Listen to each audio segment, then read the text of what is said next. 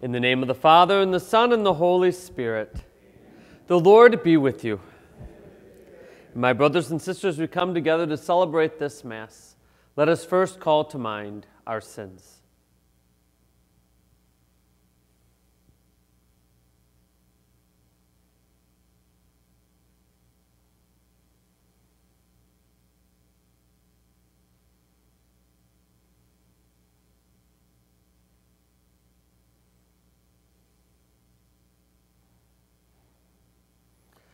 I confess to Almighty God and to you, my brothers and sisters, that I have greatly sinned in my thoughts and in my words, in what I have done and what I have failed to do, through my fault, through my fault, through my most grievous fault. Therefore I ask, Blessed Mary, ever Virgin, all the angels and saints, and you, my brothers and sisters, to pray for me to Lord our God. May Almighty God have mercy on us, forgive us our sins, and bring us to everlasting life. Lord, have mercy. Christ, have mercy. Lord, have mercy. Let us pray. O God, by whom we are redeemed and receive adoption, look graciously upon your beloved sons and daughters, that those who believe in Christ may receive true freedom and an everlasting inheritance. Through our Lord Jesus Christ, your Son, who lives and reigns with you in the unity of the Holy Spirit, one God, forever and ever. Amen. A reading from the first letter of St. Paul to the Corinthians. Brothers and sisters, knowledge inflates with pride, but love builds up. If anyone supposes he knows something, he does not yet know as he ought to know. But if one loves God, one is known by him. So, about the eating of meat sacrificed to idols, we know that there is no idol in the world, and there is, and there is no God but one. Indeed, even though there are so called gods in heaven and on earth, there are to be sure many gods and many lords. Yet for us there is one God, the Father, for whom all things are and for whom we exist, and one Lord, Jesus Christ, through whom all things are and through whom we exist. But not all have this knowledge. There are some who have been so used to idolatry up until now that when they eat meat sacrificed to idols, their conscience, which is weak, is defiled. Thus, through your knowledge, the weak person is brought to destruction, the brother for whom Christ died. When you sin in this way against your brothers and wounded their consciences, weak as they are, you are sinning against Christ. Therefore, if food causes my brother to sin, I will never eat meat again, so that I may not be may, so that I may not cause my brother to sin. The word of the Lord. Thanks be to God. Guide me, Lord, along the everlasting way. Guide me, Lord, along the everlasting way. O Lord, you have probed me and you know me. You know when I sit and when I stand. You understand my thoughts from afar. My journey and my rest you scrutinize, and with all my ways you are familiar. Guide me, Lord along the everlasting way. Truly, you have formed my inmost being. You knit me in my mother's womb. I give you thanks that I am fearfully, wonderfully made. Wonderful are your works. Guide me, Lord, along the everlasting way. Probe me, O God, and know my heart. Try me and know my thoughts. See if my way is crooked and lead me in the way of old. Guide me, Lord, along the everlasting way. Alleluia, Alleluia, Alleluia, Alleluia, Alleluia, Alleluia. The Lord be with you. A reading from the Holy Gospel according to Luke. Glory to you, O Lord. Jesus said to his disciples, To you who hear, I say, love your enemies, do good to those who hate you, bless those who curse you, pray for those who mistreat you. To the person who strikes you on one cheek, offer the other one as well. And from the person who takes your cloak, do not withhold even your tunic. Give to everyone who asks of you, and from the one who takes what is yours, do not demand it back. Do to others as you would have them do to you. For if you love those who love you, what credit is that to you? Even sinners love those who love them. And if you do good to those who do good to you, what credit is that to you? Even sinners do the same. If you lend money to those for whom you expect repayment, what credit is that to you? Even sinners lend to sinners and get back the same amount. But rather, love your enemies and do good to them, and lend expecting nothing back. Then your reward will be great, and you will be children of the Most High.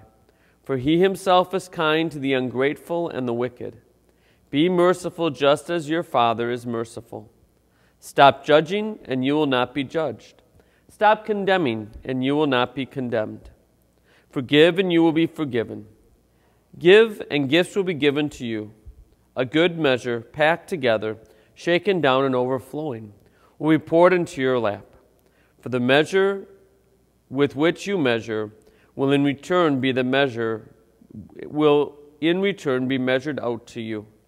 The gospel of the Lord praised you.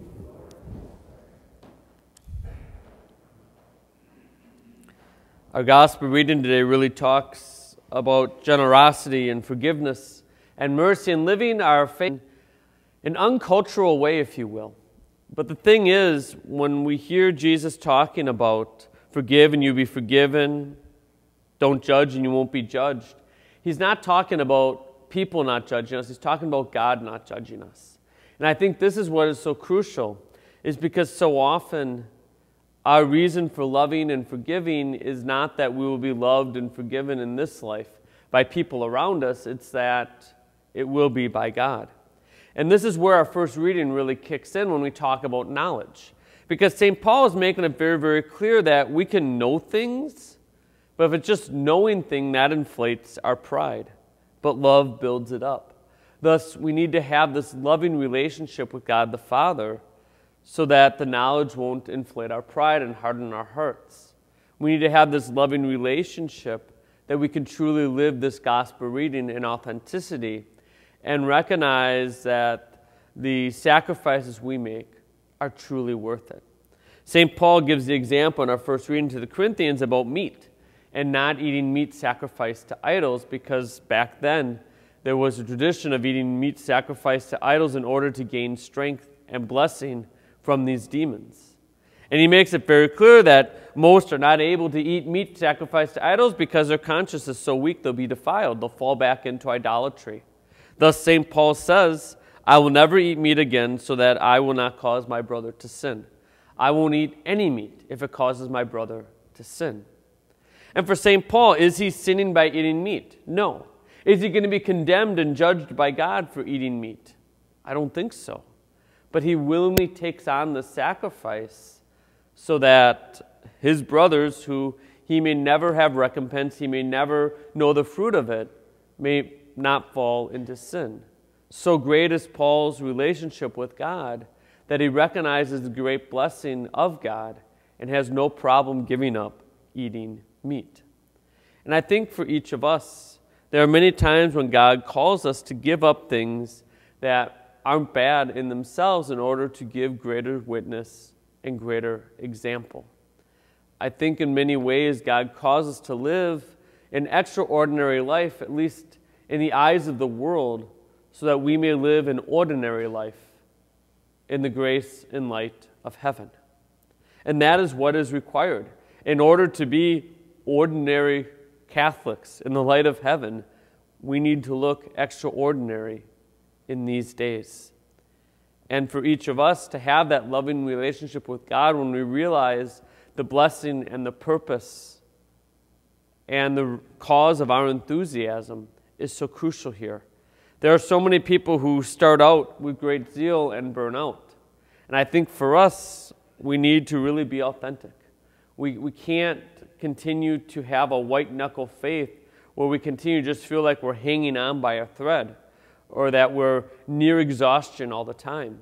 We need to have a faith that is overflowing and abundant. I mean, Jesus makes it clear in our gospel reading that he wants his grace to be overflowing, packed down, measured out, you know, poured upon us. And this is the goal that the love of God is so present and near to us that we have this knowledge and experience of the love of God in a daily way that we can't help but make those sacrifices. We can't help but be there for our brothers and sisters. I marvel a lot of times at the charity of people who do not believe in God.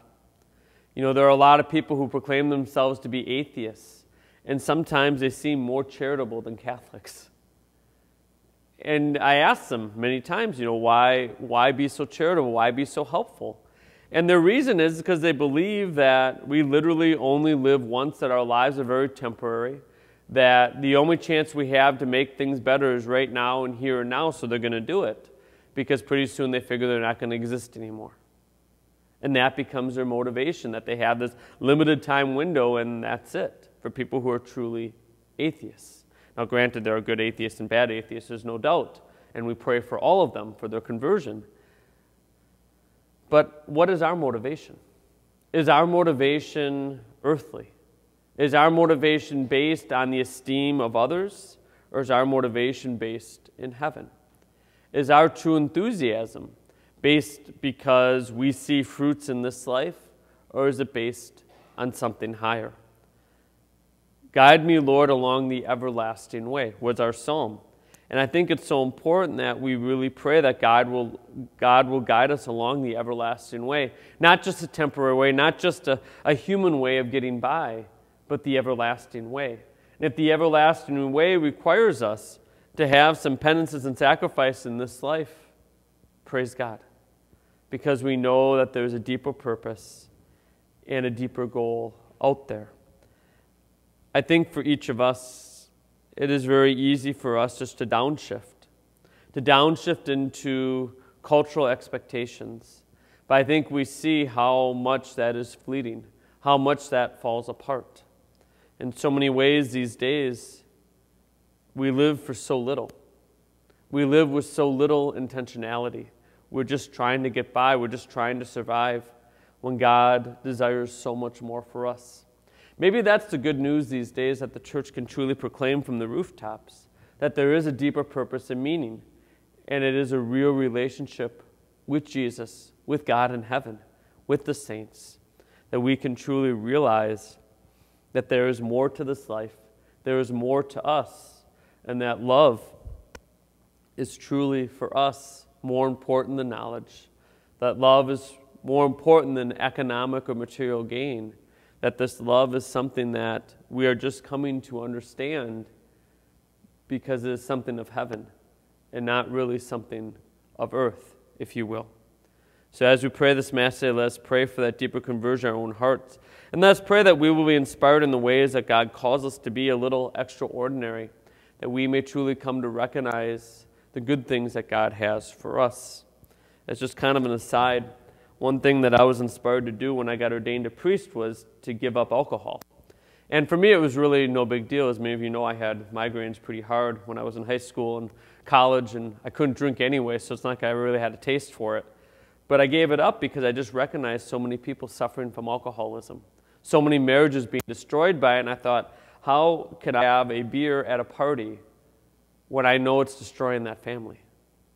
And so I've continued to do that where I will be at parties, and of course, the guys will always be offering me beers like any other guy. And they will be stunned, almost insulted when I refuse. And then I explain to them why. And I got to tell you, that has led to more confessions, more people going to church than I can count right now. And it's something so simple, so easy. And I think for us, oftentimes God calls us for those simple, easy things to really help us to be a little extraordinary, that we may be able to preach the gospel, that we may have a little more street cred, if you will, with those who are falling to the wayside, so that they may be lifted up once again. So in this Mass, let's pray to be inspired. What are the little extraordinary things that we're being called to do to help inspire others to be inspired by God?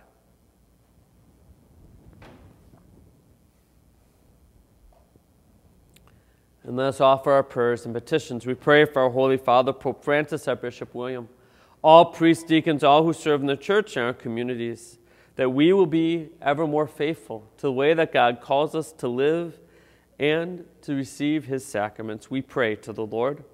Lord, hear our prayer. Pray for all the sick and suffering, all those without hope, those who do not believe in God, and those who care for them, that they will know Christ's healing touch. We pray to the Lord. Lord, hear our prayer. Pray for our parish communities, our own families.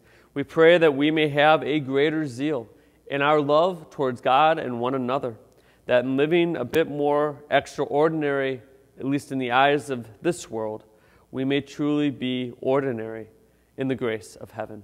We pray to the Lord. Lord, hear our prayer. We pray for all those who have died, all those who will die this day, that they will know God's eternal love we pray to the Lord. Lord, hear our prayer. Heavenly Father, we thank you for hearing our prayers. Help us to be ever more filled with zeal for the grace of heaven, that our true motivation may be a heavenly one, and that we may be purified by any earthly motivation that keeps us from truly knowing the love of Christ. We ask this through Christ our Lord. Amen.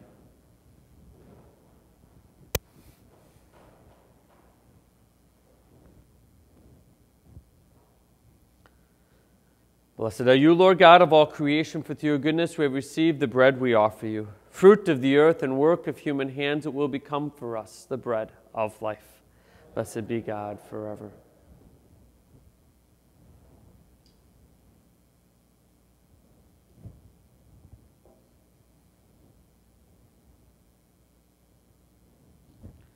Blessed are you, Lord God of all creation, for through your goodness we have received the wine we offer you fruit of the vine and work of human hands, it will become our spiritual drink. Blessed be God forever.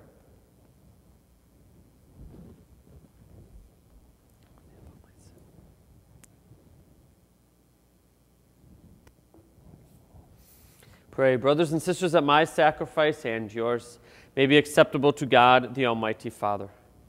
Lord, accept the sacrifice at your hands for the praise and glory of his name for our good and the good of all his holy church. O God, who give us the gift of true prayer and, and of peace, graciously grant that through this offering we may do fitting homage to your divine majesty, and by partaking of the sacred mystery, we may be faithfully united in mind and heart. Through Christ our Lord. Amen. The Lord be with you. Lift up your hearts. Let us give thanks to the Lord our God. It is truly right and just our duty and our salvation, always and everywhere to give you thanks, Lord, Holy Father, Almighty and eternal God, through Christ our Lord. His death we celebrate and love. His resurrection we confess with living faith. And his coming in glory we await with unwavering hope.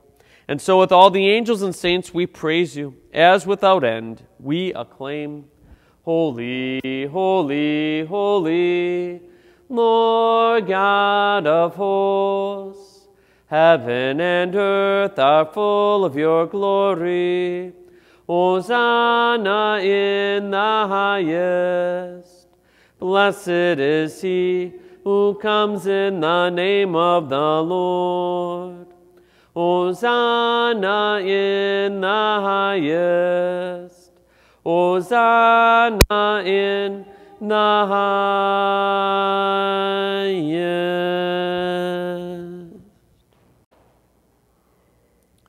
You are indeed holy, O Lord, and all you have created rightly gives you praise. For through your Son, our Lord Jesus Christ, by the power and working of the Holy Spirit, you give life to all things and make them holy. And you never cease to gather a people to yourself so that from the rising of the sun to its setting, a pure sacrifice may be offered to your name. Therefore, O Lord, we humbly implore you, by the same Spirit graciously make holy. These gifts we have brought to you for consecration, that they may become the body and blood of your Son, our Lord Jesus Christ, at whose command we celebrate these mysteries. For on the night he was betrayed, he himself took bread, and giving you thanks, he said the blessing, broke the bread, and gave it to his disciples, saying, Take this, all of you, and eat of it, for this is my body, which will be given up for you.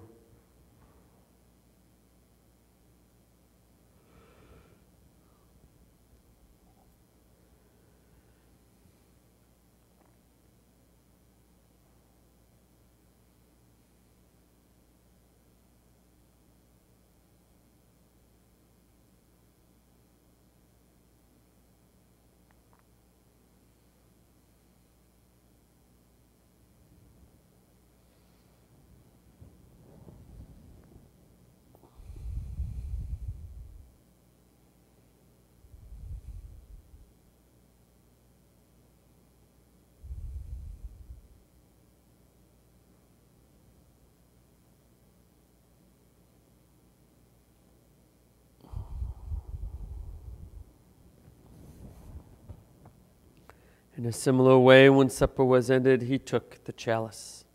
And giving you thanks, he said the blessing, and gave the chalice to his disciples, saying, Take this, all of you, and drink from it.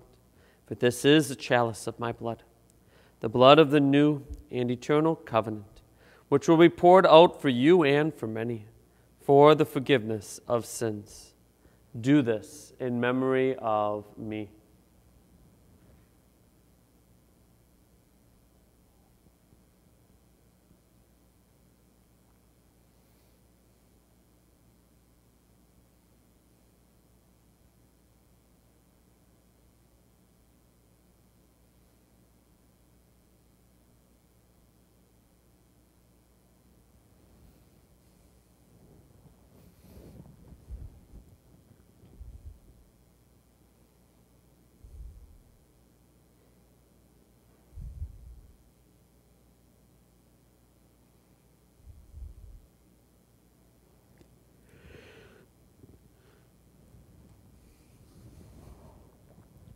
The mystery of faith. We proclaim your death, O Lord, and profess your resurrection until you come, until you come again. Therefore, Lord, as we celebrate the memorial of the saving passion of your Son, his wondrous resurrection and ascension into heaven, and as we look forward to his second coming, we offer you in thanksgiving this holy and living sacrifice. Look, we pray upon the oblation of your church, and recognizing the sacrificial victim by whose death you willed to reconcile us to yourself, grant that we who are nourished by the body and blood of your Son and filled with his Holy Spirit may become one body, one spirit in Christ. May he make of us an eternal offering to you, so that we may obtain an inheritance with your elect especially the most blessed Virgin Mary, Mother of God, with your blessed apostle and glorious martyr, Saint Joseph, our most chaste spouse, with all the saints, on whose constant intercession in your presence we rely for unfailing help. May the sacrifice of our reconciliation, we pray, O Lord, advance the peace and salvation of all the world. Be pleased to confirm in faith and charity your pilgrim church on earth. With your servant Francis, our Pope, and William, our Bishop, the order of bishops, all the clergy, the entire people you have gained for your own. Listen, grace to the prayers of this family, whom you have summoned before you. In your compassion, O merciful Father, gather to yourself all your children scattered throughout the world. To our departed brothers and sisters and all who are pleasing to you at their passing from this life, give kind admittance to your kingdom. There we hope to enjoy forever the fullness of your glory.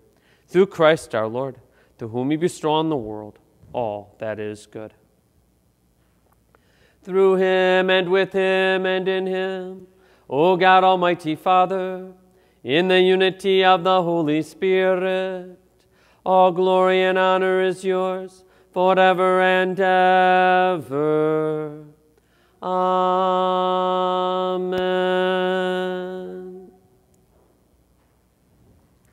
At the Savior's command, informed by divine teaching, we dare to say, Our Father, who art in heaven, hallowed be thy name. Thy kingdom come, thy will be done, on earth as it is in heaven. Give us this day our daily bread, and forgive us our trespasses, as we forgive those who trespass against us. And lead us not into temptation, but deliver us from evil. Deliver us, Lord, we pray, from every evil. Graciously grant peace in our days that, by the help of your mercy, we may be always free from sin and safe from all distress, as we await the blessed hope and the coming of our Savior, Jesus Christ. For the kingdom, the power, and the glory are yours, now and forever. Lord Jesus Christ, who said to your apostles, Peace I leave you, my peace I give you. Look not on our sins, but on the faith of your church, and graciously grant her peace and unity in accordance with your will, who live and reign forever and ever. Peace to the Lord be with you always. Let us offer each other the sign of peace.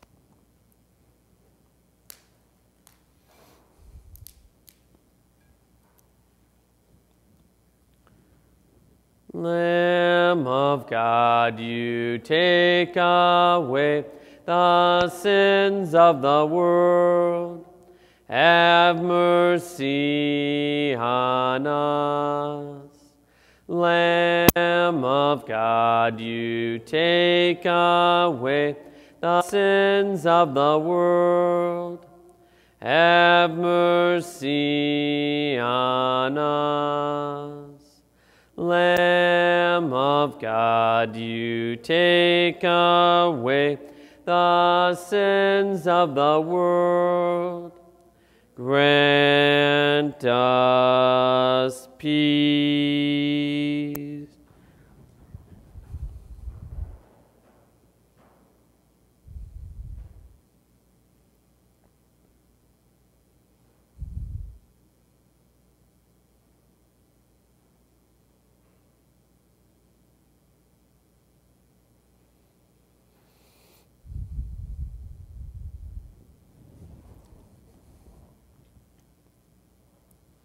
Behold the Lamb of God. Behold him who takes away the sins of the world.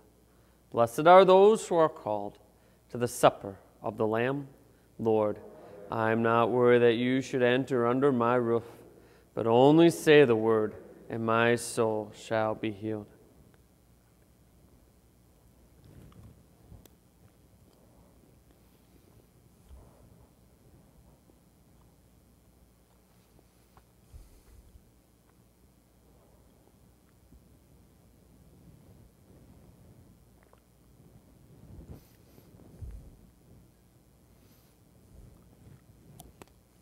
Given to us at Mass may be extended to you as well. Let us pray. My Jesus, I believe that you are present in the most holy sacrament. I love you above all things, and I desire to receive you into my soul. Since I cannot at this moment receive you sacramentally, come at least spiritually into my heart. I embrace you as if you are already there, and unite myself wholly to you Never permit me to be separated from you. Amen.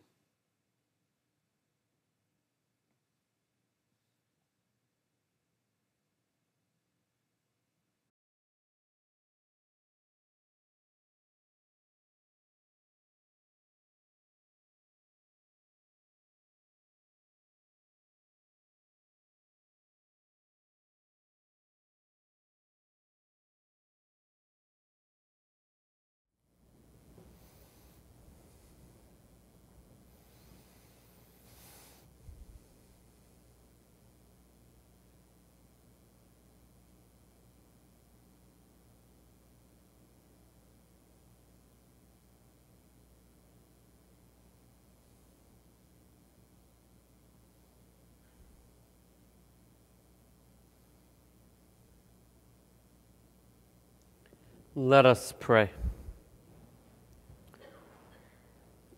Grant that your faithful, O Lord, whom you nourish and endow with life through the food of your word and heavenly sacrament, may so benefit from your beloved Son's great gifts, that we may merit an eternal share in his life, who lives and reigns forever and ever. The Lord be with you. May Almighty God bless you, the Father, and the Son, and the Holy Spirit. The Mass is ended. Go in peace. Thanks be to God. St. Michael, the Archangel, defend us in battle.